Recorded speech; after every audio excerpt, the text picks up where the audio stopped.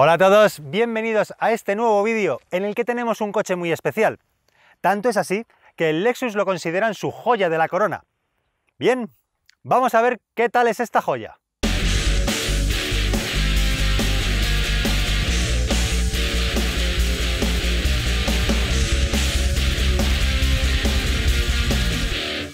Si algún amigo tuyo o alguien que no sabe especialmente de coches te dice que ha visto un deportivo descapotable espectacular, tú seguramente pienses en un Porsche.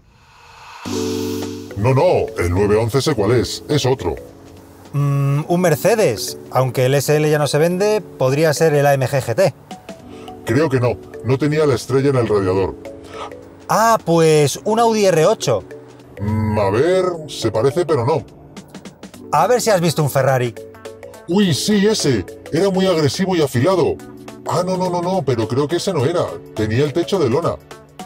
Mmm, ¿con el techo de lona? Pues no sé. ¿Un LC Cabrio de Lexus? ¿Un Lexus? El de los híbridos. El de las berlinas y los sub. Sí, el fabricante japonés de coches de lujo ha creado la versión descapotable a partir del coupé y es este que estás viendo, el Luxury Coupé 500 Cabrio. Cuesta 155.000 euros para empezar a hablar y tiene un diseño espectacular, tanto como coches que cuestan casi el doble.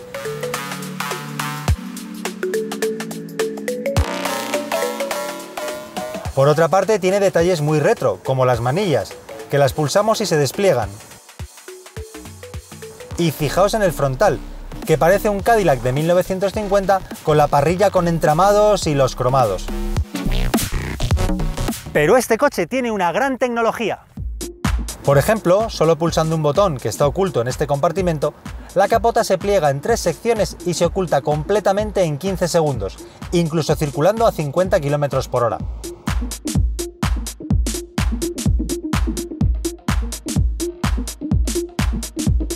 Está fabricada en cuatro capas. Han trabajado casi obsesivamente para que quede tensa cuando se pone y es tan aislante que hemos visto techos de acero menos confortables. Pero en sus 4,8 metros de largo no hay sitio para mucho más y el maletero se queda en 150 litros. Sí, no es un coche muy apropiado para vacaciones en familia. Algo bueno es que han aprovechado al máximo el habitáculo y aunque sea poco más que para emergencias, tiene dos plazas traseras.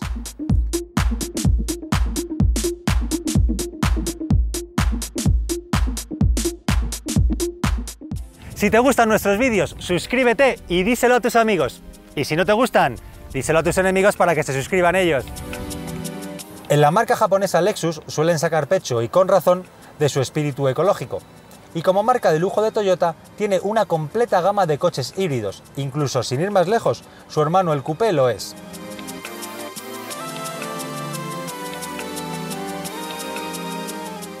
Pero este no, con la estructura para guardar el techo no han visto la posibilidad de integrar las baterías y el sistema híbrido. En principio nos parece un fallo de ingeniería enorme, pero aceptamos las limitaciones, todos las tenemos. Vamos a ver qué bajo el capó. Tiene un enorme V8. Un V8 de gasolina, atmosférico, 5 litros de cilindrada, pura tecnología del siglo XX vestigio de épocas doradas. Casi 500 caballos a más de 7000 revoluciones por minuto.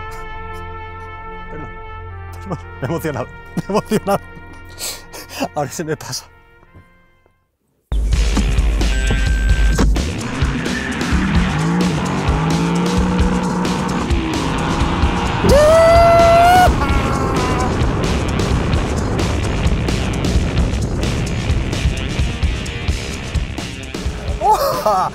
Concretamente son 477 caballos a 7100 revoluciones por minuto. Y escuchad cómo suena.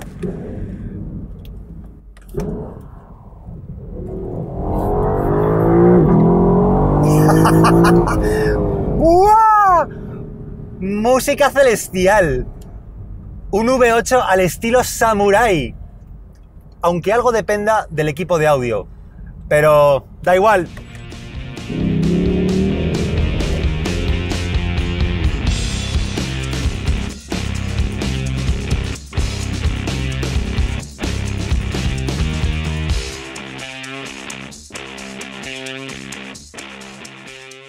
Y es tan lujoso y confortable que casi te puedes quedar a dormir en él.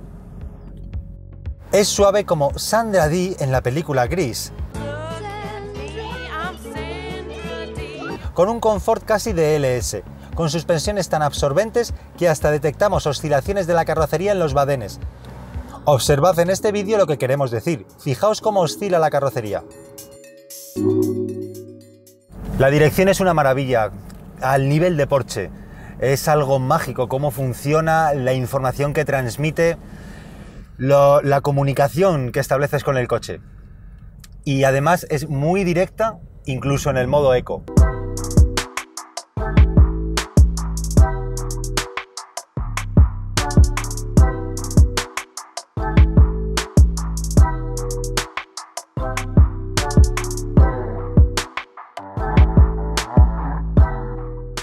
Y qué bueno, memoriza el modo de conducción.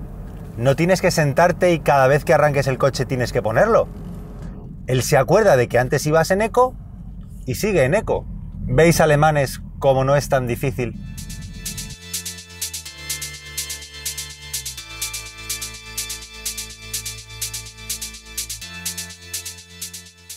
Girando esta ruleta de aquí ya puedes cambiar los modos de conducción y llegar a poner el Super Sport Plus.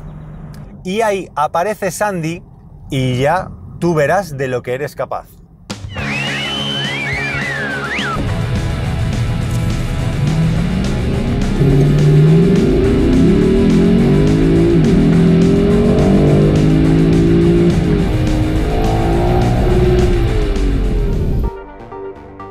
Tiene un interior también rematado, muchas cosas incluso manualmente por artesanos, que eleva a un nuevo nivel los acabados de los coches. Y por ejemplo, tiene un sistema automático de control de la temperatura del habitáculo que combina la refrigeración de los asientos, la calefacción del volante y el aire acondicionado. Y hay guiños a los coches deportivos. Tiene la marcha atrás recreando el cambio manual, y si te decimos que tiene la marcha adelante como los deportivos antiguos, hacia la izquierda y abajo, debes pensar en, por ejemplo, el primer M3, o no debe ser muy bien recibido entre tus amigos petrolheads. El motor va colocado en posición delantera longitudinal y va bastante retrasado con respecto al eje delantero para centrar pesos. Y se une con una caja de cambios automática de 10 marchas. Es un prodigio por convertidor de par que funciona bastante bien y resulta curioso que, por ejemplo, vamos en cuarta en lugares donde en otros coches vamos en segunda. La potencia llega bastante filtrada al tren trasero y tiene la carrocería reforzada con magnesio y aluminio. Además, las suspensiones traseras tienen un nuevo tarado diferente a las del coupé.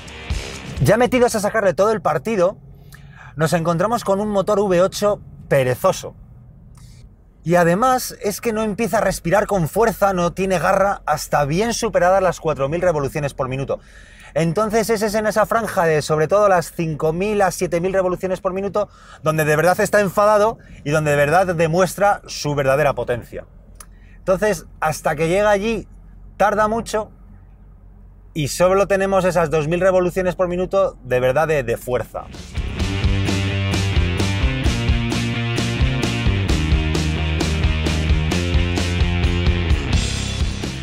De esta manera, y pese a tener la aerodinámica más estudiada que un caza de combate, solo alcanza 270 km por hora.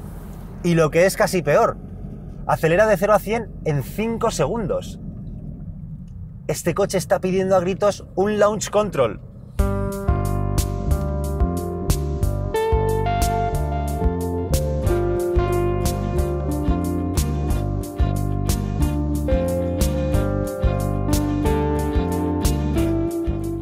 Los frenos son bastante buenos, pero nos gustaría que tuvieran un tacto un poco más informativo para poderlos dosificar mejor a alta velocidad.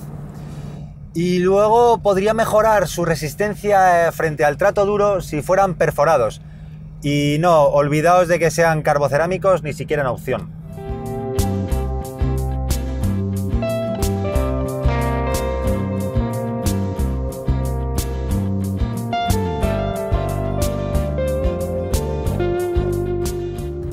Otro dato que tampoco está muy a favor del coche es que pesa 2 toneladas.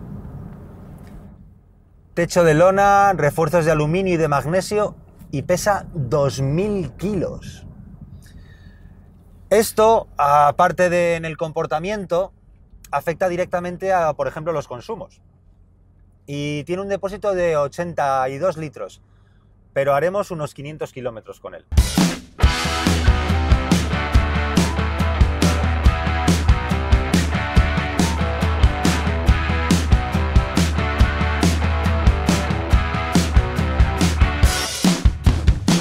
El coche es una pasada. Es, eh, bueno, pues uno de los mayores ejemplos tecnológicos y deportivos que nos puede ofrecer Lexus. Y seguro que en una carretera de montaña, si tiene buen asfalto y no es muy ratonera, lo pasaréis en grande.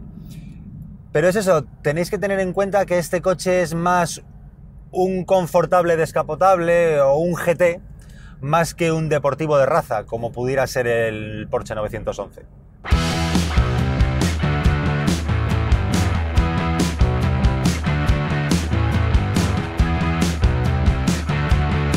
Nos sentimos muy bien integrados en él, el puesto de conducción es poco menos que excelente y pese a circular a alta velocidad no notaremos turbulencias ni molestias o ruido por ir descapotados.